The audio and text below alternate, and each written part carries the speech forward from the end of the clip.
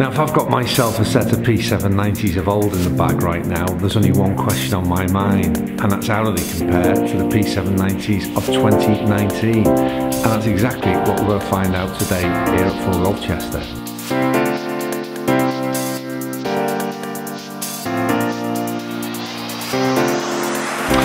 Yeah, P790s 2019, literally just released. If you haven't already, then please check out my uh, full review of that club, which was done in terms of dry ball data here at Full Golfchester and out on the golf course down at Conway. But the question I was asking myself whilst I was testing that club is, I thought it was a fantastic iron. But what I really wanted to do was compare it to the P790s of old and see if we can identify the differences. What have TaylorMade achieved in this enhanced version of this P719, uh, P790 of 2019? So what we're going to do, dry ball data, I've got 9 iron, 7 iron, 5 iron. There's exactly the same shaft in both of these. We're going to start off by hitting some golf balls and then I'm going to look to try and identify what are the differences if any, that TaylorMade have managed to achieve in this P790 2019.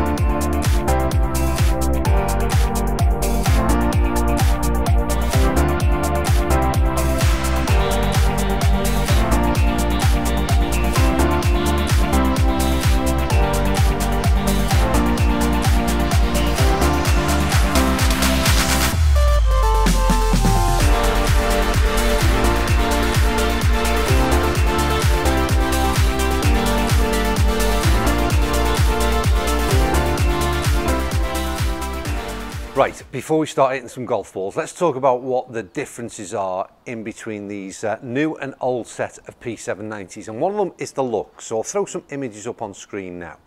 The details are, I think, minor in terms of what they've done in terms of the looks. There's a lot more chrome in the new version.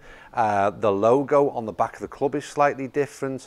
Um, it is what I would call, like I said, minor changes. But for me, I do think it's an improvement. I am a sucker for a bit of shiny chrome, but I do think the P790 2019 does look a little bit better when it's sitting there in your bag, but that means very little, as we know, and that's a very personal opinion as well.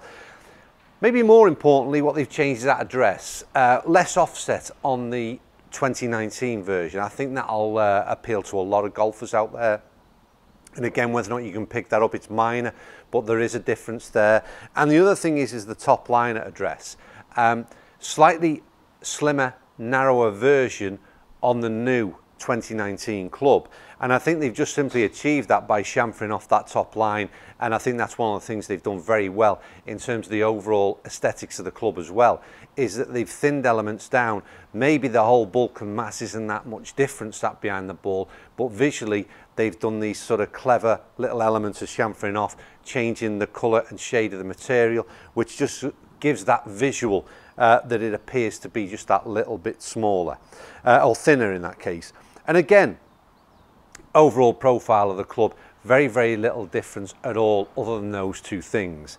Anyway, that's it. That's all that separates them in terms of looks. What I'm interested in, I'm going to start off, is hitting the 9 iron, and I'm going to tell you my immediate feedback after I switch between the two.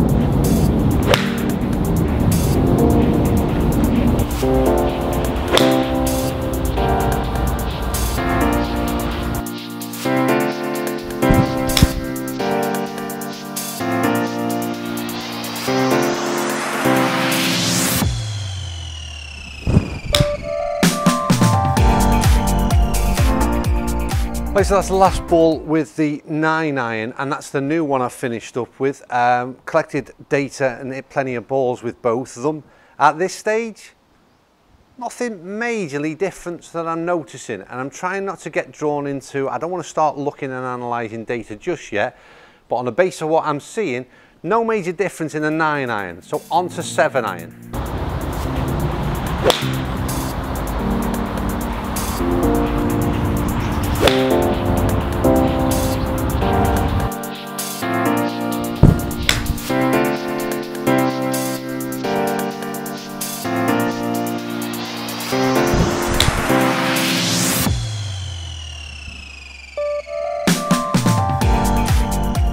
Right, once again, I'll finish up there. Uh, plenty of balls hit with 7 iron on both clubs. That's the last one with, again, the 2019 version. Um, slightly, I mean, the one thing that I didn't mention on the 9 iron, I certainly felt it more so in the 7 iron. I'm not seeing, again, any, I've not looked at data, but I'm not seeing anything fantastic in terms of what I'm seeing, at least out there. They seem to be performing again with a lot of similarities. Um, maybe, just maybe, a slightly higher ball flight on the 7 iron, but I'll stand corrected if that's wrong. Um, but definitely the feel is a big difference. Slightly different acoustics inside here, but there's a noticeable difference in sound and ultimately uh, feel in what I'm hitting so far. But in terms of performance, not seeing anything major as yet. So last one, I'm going to step into the 5 iron, see if there's any differences there.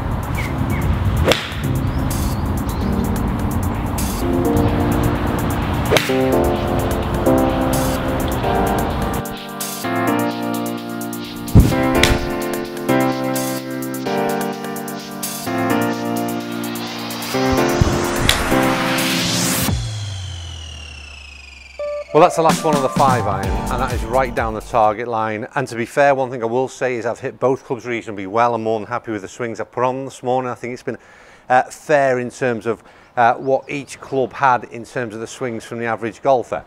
Uh, this is the first iron where I've seen a difference, and I hope this is backed up in terms of data um, because I said it out there on the course when we reviewed the P790s um, 2019 that for me one of the things they claim to have done, TaylorMade, is move the tungsten weighting um, quite a significant amount in terms of where it was in the longer irons because there was an issue and I can vouch for the issue in that I had the uh, 6, 5, 4 iron of P790 of old in my bag.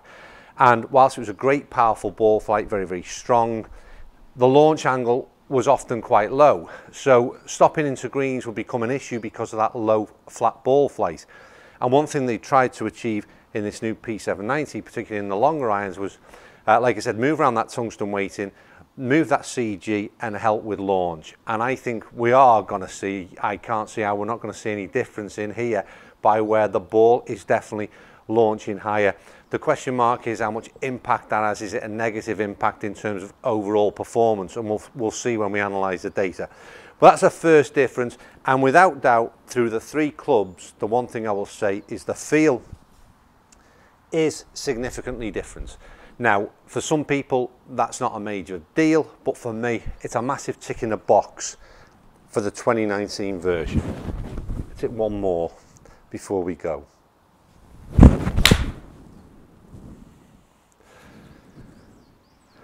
Right. I don't think there's much more to say. I think we're going to have a look at data and I'll give you my overall opinion on how these two clubs differ.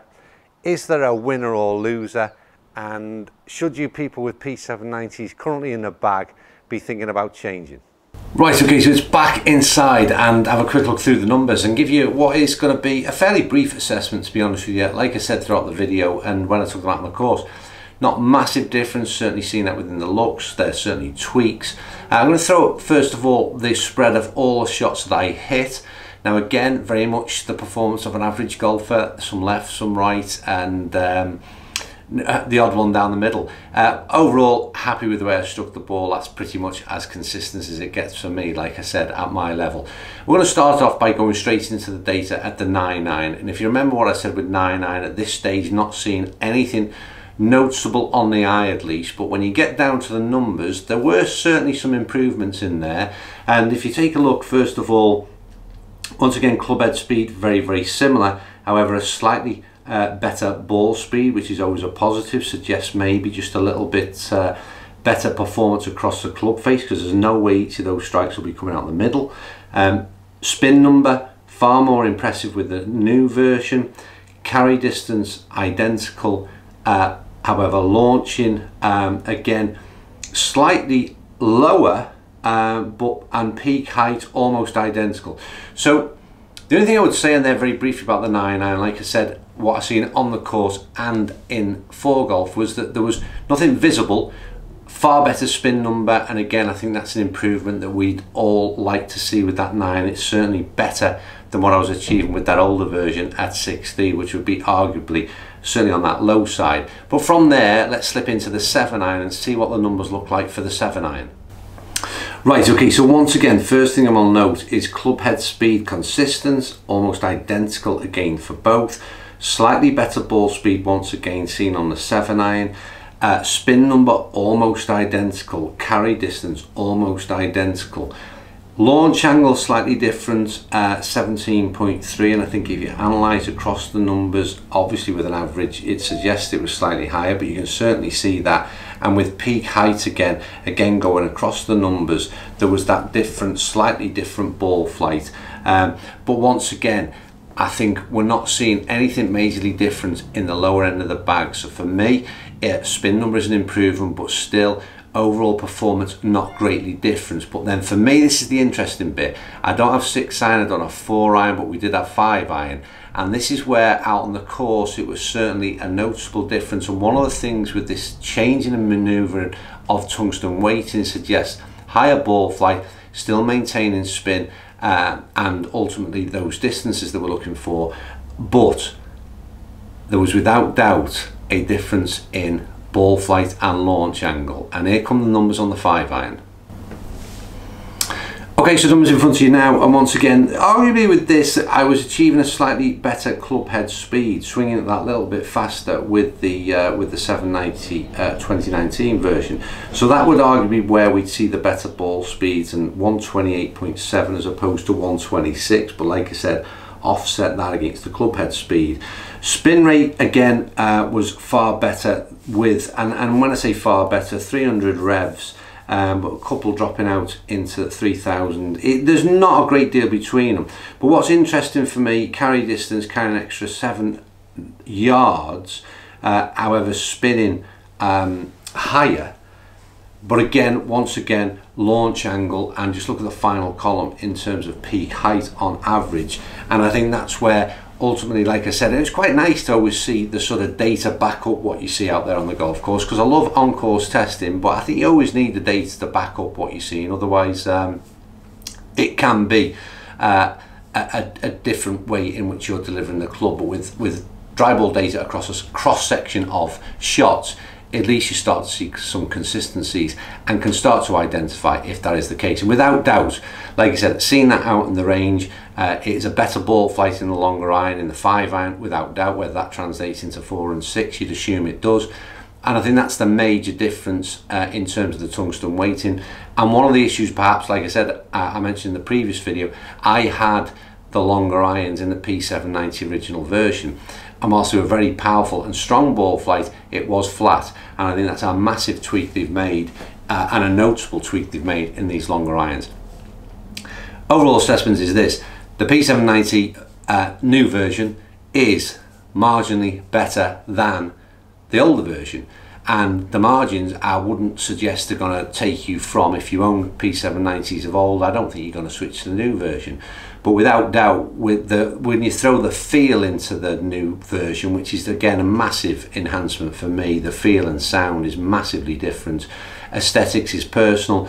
There's without doubt what they've said they've achieved they, they, they were looking to achieve they have done.